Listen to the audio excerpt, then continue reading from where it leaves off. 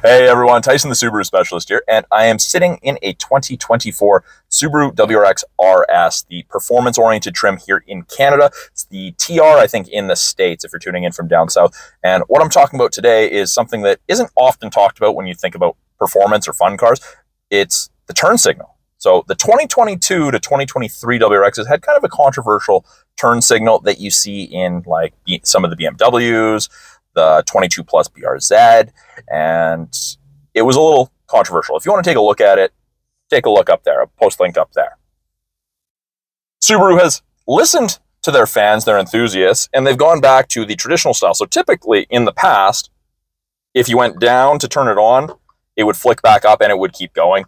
Luckily, we have the regular style turn signal now. It's back. You don't have to get used to a different style which could create some issues if you were changing lanes super quick or making some quick turns. It, it could have created some issues for you. I know initially some people had an issue with it and weren't big fans of it, but great news. It's back to the traditional style. Great job, Subaru. Way to listen to the enthusiasts out there.